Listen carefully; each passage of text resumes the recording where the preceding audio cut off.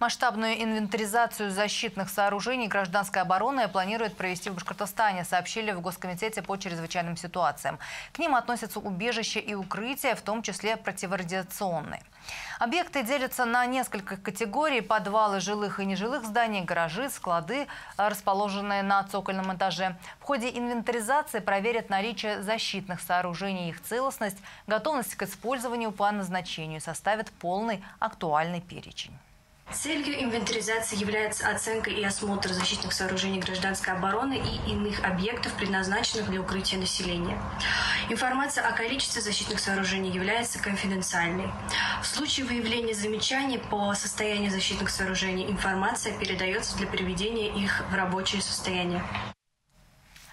Инвентаризация бомбоубежищ пройдет во всех городах и районах Башкортостана в три этапа. Даты проверки еще не определили. Они зависят от принятия нормативного правового акта правительства страны.